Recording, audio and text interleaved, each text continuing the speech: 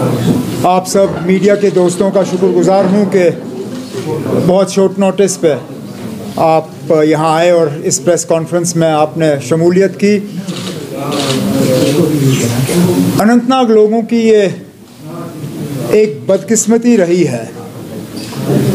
जब कभी ऐसा लगता है, और ये मैं पिछले चंद सालों के हवाले से बात कर रहा हूँ, जब जब उनको लगता है कि नेशनल कॉन्फ्रेंस का पलटा भारी है। या इस्टेब्लिशमेंट का कैंडिडेट जो हैं, वो इलेक्शन हारने जा रहे हैं। तो किसी न किसी बहाने इलेक्शन को पोस्टपोन करने की कोशिश की जाती है। अगर आप दोस्त याद करें तो 2017 में भी ऐसा ही एक साजिश के तहत अनंतनाग असेंबली हलकों, हलके के लोगों को जो है डिसनफ्रेंचाइज किया गया था। उस वक्त बीजेपी और पीडीपी की कोलिशन हुकूमत के दौरान चीफ मिनिस्टर साहिबा का भाई जो है, वो उम्मीदवार था। इलेक्शन हारने के चंद दिन पहले इलेक्शन कमीशन के साथ एक साजिश रचा के, अनंतनाग असेंबली हलके के इलेक्शन को जो है लास्ट मोमेंट पे पोस्टपोन किया गया और वो दिन और ये दिन उसके बाद वहाँ इलेक्शन हुआ नहीं। कुछ दिनों से हम ये खबरें सुनते आए हैं कि बीजेपी और उनके जो पार्टनर पार्टीज़ हैं, वो एडमिनिस्ट्रेशन के साथ इलेक्शन कमीशन के साथ मिलके दोबारा जो है इस तरह की साजिश रचाने पे सोच रहे हैं।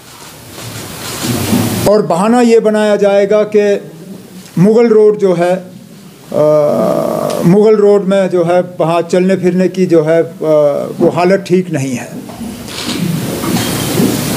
नेशनल कॉन्फ्रेंस के तरफ़ से मैं इलेक्शन कमीशन को आ, ये अपील आ, हम करें या उन्हें हम वार्न करें कि इस तरह का कदम उनको उठाना नहीं चाहिए।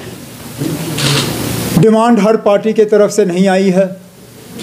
अगर आप जो इलेक्शन कमीशन के तरफ़ से जो जम्मू कश्मीर एडमिनिस्ट्रेशन को जो चिट्ठी गई है वो भी एक अजीब चिट्ठी है।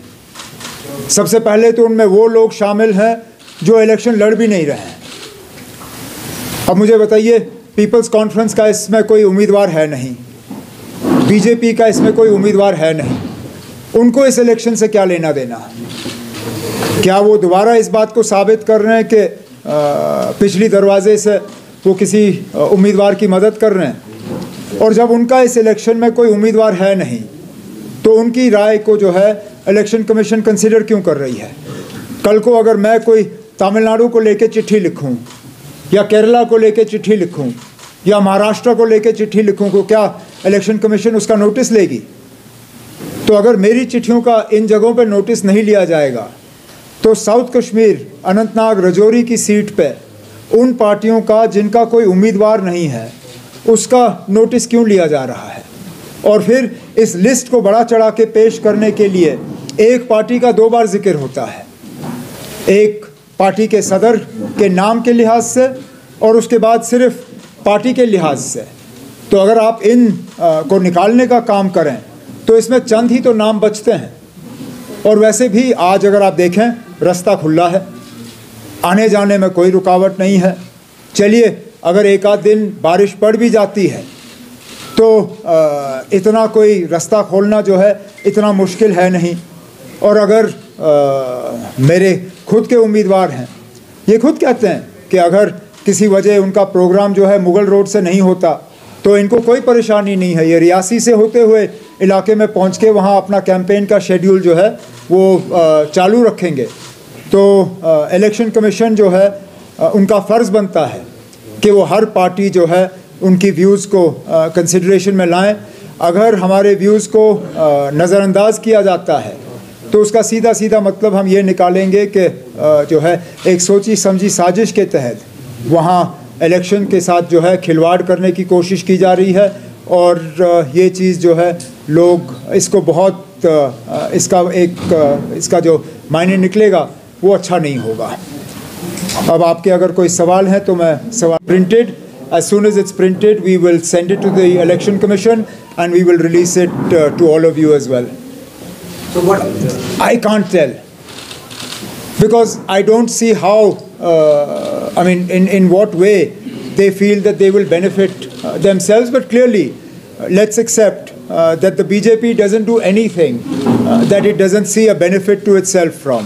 The fact that all its subsidiary parties are included in this list, including those parties that have not fielded candidates in this election, tells you everything you need to know uh, as to why this conspiracy against the voters of Anantnag Rajouri Parliament, uh, Parliament constituency has been hatched. But uh, uh, we will, as a party, take a very dim view uh, of a decision uh, that uh, postpones this election. There is absolutely no need to postpone the election, even if, for some reason, the Mughal Road closes for a few hours. If they can keep roads to Kargil open, if they can keep roads to Gurez open, if they can keep roads to Tangzar open, if they can keep roads to Keran open, if the road to Matsil can be kept open, then there is absolutely no reason uh, why this road uh, cannot be kept open, unless, of course, the administration wants to join in uh, this conspiracy to, to tinker uh, with the mandate of the people of Rajouri and uh, Anantnag Parliament constituency. तो People's conference ने यहाँ पे की थी request अपनी party से हमें यहाँ पे नॉर्थ कश्मीर में सपोर्ट किया जाए और उन्होंने वहाँ पे इनको सपोर्ट किया है मतलब अपनी पार्टी के कैंडिडेट को। कैसे आप उनके उस देख रहे हैं उस चीज़ को जो उन्होंने यहाँ पे मैंने ये पहले भी कहा है फिर दोहराऊँगा। मेरी लड़ाई जो है अ, किसी एक फ़र्द या किसी एक तंजीम के ख़िलाफ़ नहीं है नॉर्थ कश्मीर में। अ, एक मुकम्मल कोशिश दिल्ली के तरफ़ से और बीजेपी की तरफ़ से की जा रही है। इन सबको एक साथ लाने की। और अ, मैं तो इससे ये समझता हूँ कि शायद मैं ही अ, सबसे ज़्यादा ताकतवर उम्मीदवार हूँ वहाँ पे। नहीं तो अ, कल तक तो मुझे टूरिस्ट कहा जा रहा था। अब बजाय मुझे ये समझाइए ना आप अगर टूरिस्ट को हराने के लिए ये सब करने की ज़रूरत है तो ज़ाहिर सी बात है कि टूरिस्ट ने उनको बहुत ज़्यादा डराया हुआ है। और काश मैंने हिम्मत करके वहाँ कागज़ भरे। काश सजाद लोन साहब ने हिम्मत करके श्रीनगर में कागज़ भरे होते। हम भी देखते टूरिस्ट कौन है। उमर साहब एक चिट्ठी खाली गई। ये इस तरह का जो हम देखते हैं ये पहली बार नहीं हो रहा है। और आप देखें एक जैसे कहा गया था ना क्रोनोलॉजी समझ लीजिए। आप क्रोनोलॉजी समझिए। ये पहले इन चीज़ों को पब्लिक डोमेन में एक हफ़्ता दस दिन पहले लाया गया था। जबकि रास्ता खुला था कैंपेन का सिलसिला जो है, उसमें कोई रुकावट थी नहीं। यहाँ तक कि जिसने सबसे पहले इसको पब्लिक डोमेन में लाने का काम किया था, उसने रजौरी पहुँच जाने की कोशिश भी नहीं की थी। यहाँ घर बैठे बैठे सबसे पहले सोशल मीडिया के ज़रिए अपील की थी कि इलेक्शन जो है वो पोस्टपोन होना चाहिए। और आप देखिए ना, अब ये लोग किन से मिलके ये सारा कुछ कर रहे हैं? बीजेपी अपनी पार्टी जिनका कोई उम्मीदवार सॉरी पीसी जिनका उम्मीदवार इस मैदान में है नहीं। उनके तरफ़ से इस तरह का अपील करना उससे शायद आप ये समझ सकते हो कि इलेक्शन कमीशन पे बहुत ज़्यादा दबाव बनाने की कोशिश की जा रही है।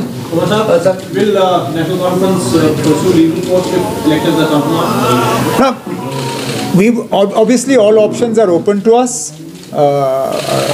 I first and foremost would make an appeal to the election commission uh, not to do it. Uh, that there is no need for it. Uh, there is absolutely no need. If anything, the election commission should issue a directive to the J&K administration to ensure that the road is kept open. That's all the election commission needs to do. This government is perfectly capable of keeping this road open. I've been chief minister for six years. I know what our capabilities are. I know how capable our R&B department is. I know the machinery that we have. I know the manpower that we have. I know that there is absolutely no reason that the Mughal road cannot be kept open at the end of April. If this was January or February, yes, uh, I myself would have had concerns about our ability to keep this road open, but not at the end of April.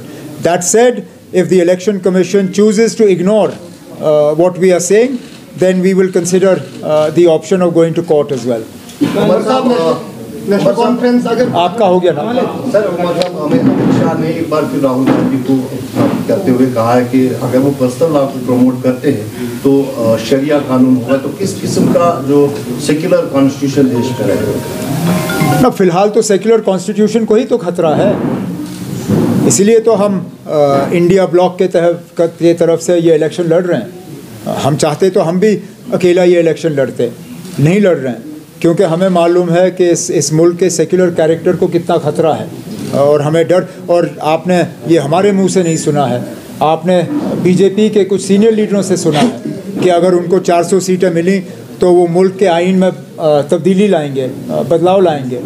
तो ज़ाहिर सी बात है जिस तरह home minister साहब तकरीर कर रहे हैं उनका इशारा इसी तरफ़ है। उमर साहब कल अगरवाला साहब ने कहा कि एडमिनिस्ट्रेशन जब रेलिंग तो देखिए एडमिनिस्ट्रेशन का एक बायस्ड अप्रोच तो है। उसमें उसमें कोई दो राय नहीं है। और मैं ये मतलब सबूत के साथ आपको कह सकता हूँ। आप सिर्फ़ झंडे ले लीजिए। हमारे नेशनल कॉन्फ्रेंस के झंडे जो हैं छोड़िए मैं सड़कों की बात नहीं कर रहा हूँ। जहाँ शेर कश्मीर दफन है वहाँ से हमारे झंडे उठाए गए थे।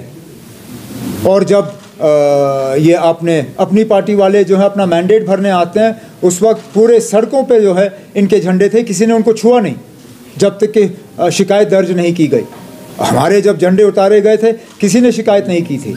और ये बार बार हमें देखने को मिल रहा है कि इंतज़ामिया के तरफ़ से जब भी कोशिश की जाती है तो सिर्फ़ नेशनल कॉन्फ्रेंस के उम्मीदवारों को तंग करने की कोशिश की जाती है और कहीं पे जो है इस तरह के कदम हम नहीं देखते।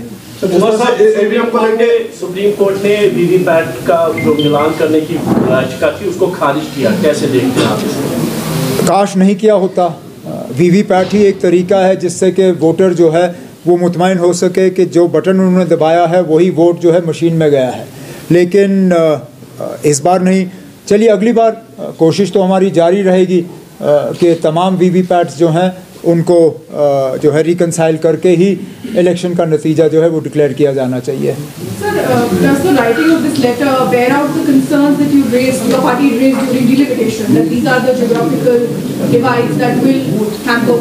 Look this constituency is a reality we don't get to choose the boundaries of the constituency that we are fighting otherwise we I mean all of us we fail to understand the logic of this boundary of this particular constituency.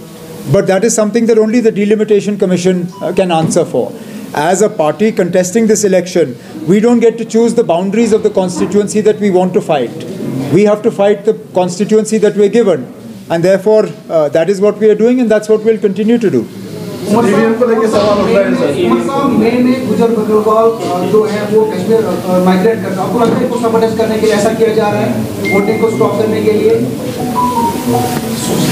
ज़ाहिर सी बात है postpone करने का ये भी एक मकसद है कि एक बहुत बड़ा तबका हमारी आबादी का जो है उनको डिसनफ्रेंचाइज किया जाएगा। बहाने कई सारे हैं जो इस्तेमाल किए जाएँगे। लेकिन मकसद यही है, क्योंकि बीजेपी और बीजेपी की जो पार्टियाँ हैं, जिनको वो मदद कर रहे हैं उनको ये इलेक्शन जो है, उनको लग रहा है कि हारने वाले हैं। और बिल्कुल जैसे मैंने शुरू में कहा 2017 में भी बीजेपी को लग रहा था कि वो इलेक्शन हारने वाले हैं। और पीडीपी की मदद करने के लिए उन्होंने उस वक्त इलेक्शन पोस्टपोन कराया। इस बार भी इनको लग रहा है कि ये इलेक्शन हारेंगे और मियाँ अल्ताफ़ साहब ये इलेक्शन जीतेंगे। तो इसलिए ये जो है ये रुकावट जो है अ, हमारे रास्ते में डालने की कोशिश की जा रही है। वैसे हमारी अपील रहेगी कि पोस्टपोन ना हो। अगर किसी वजह हमारी बात को नज़रअंदाज किया जाता है तब भी हम मतलब बढ़ चढ़ के जो है अ, अपनी कामयाबी के लिए जो है काम करेंगे और कामयाबी की उम्मीद जो है अ, तब भी हमारी रहेगी। ओके